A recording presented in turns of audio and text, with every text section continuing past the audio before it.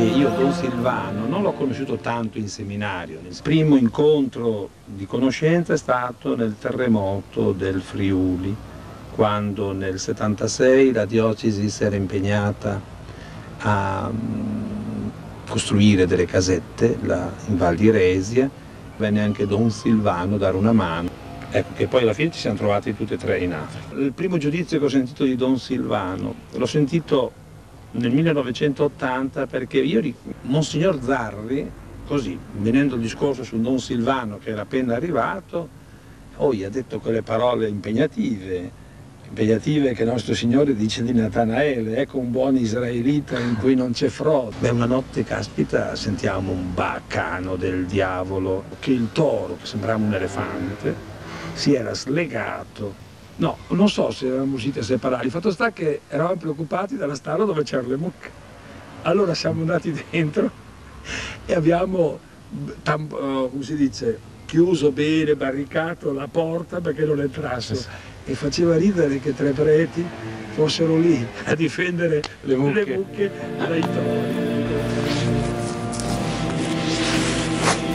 E quando è stato? Abbiamo fatto il funerale di Don Tarcisio Nardelli, mio carissimo amico, eh, col quale abbiamo vissuto a Usokami eh, otto anni, insomma, e quindi abbiamo potuto condividere eh, per tanto tempo una bella esperienza, quella nella, in Tanzania. Ecco. E poi ancora prima eh, lui eh, in, rimase un anno intero su nel Friuli, nel, nel, durante o dopo il, il, terremoto, e io ebbi occasione di andare su in due momenti a lavorare, lì un po' dare una mano insieme con altri eh, per la costruzione delle casette e così via. Ma ci conoscevamo già anche da prima. Ecco, vorrei ricordare che è stato anche cappellano qui a Vergato. Ho visto un suo battesimo celebrato nel 1967, non so, ecco se so che così è stato soltanto un anno però qui a Vergato. Beh, Don Tarcisio non ha mai avuto una grandissima salute, infatti eh, era entrato nella, nella, nei Gesuiti, dove c'era mi pare anche lo zio, ma poi man- dovette andare a casa perché per una nefrite, per un, sì, non aveva salute. Invece poi dopo sì, sì, ha avuto tanta forza, in missione è andato bene, ha avuto sì, una malaria abbastanza forte, un anno che dovette venire anche a casa, ma comunque insomma se l'è cavata sempre bene, insomma, ed era contento, infatti dice si vede che il Signore mi voleva proprio qui. E così insieme, dicevo, abbiamo condiviso gioie, fatiche, ma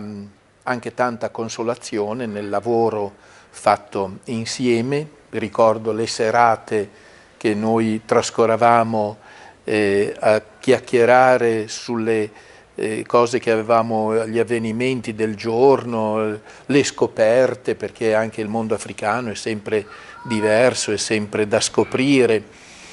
Abbiamo mm, così lavorato insieme per quanto riguarda la pastorale, abbiamo, sì, abbiamo impostato tutta la preparazione dei giovani al battesimo in tre anni, eh, abbiamo aiutato, eh, andavamo noi allora a prendere gli ammalati anche di notte, mi ricordo che facevamo una settimana ciascuno perché delle volte dovevamo andare anche di notte, allora per non alzarci tutti e due sapevamo già ecco, che chi doveva andare se si veniva, ehm, se si veniva richiesti di questo servizio, insomma. Ma poi la preghiera insieme con la, le suore, i fratelli, abbiamo vissuto una bella vita di comunità a Usokami e un bel rapporto anche con con la gente, a dire il vero, la gente gli ha voluto molto bene, ci ha voluto molto bene, lui poi era molto generoso, molto, sì, era davvero un uomo di grande misericordia, di grande comprensione. Eh, io bah, lo invidio un po' perché ha lavorato tanto e direi che mm, sì, eh, si, è, si è preparato bene a questo incontro con il Signore, lui ne, parla, ne ha parlato, ha disposto anche eh, tutto il, il, suo, eh, il suo funerale, eccetera, lasciando una registrazione e diceva il futuro sarà sempre meglio. E così, e la morte l'ha vista sempre come una rinascita, rinascita faticosa, dolorosa, per lui poi eh, che è stato 20 giorni ricoverato all'ospedale per Covid, insomma, eh, e voleva, avrebbe desiderato morire in casa, in mezzo alla gente, diciamo, nella sua parrocchia, invece purtroppo è morto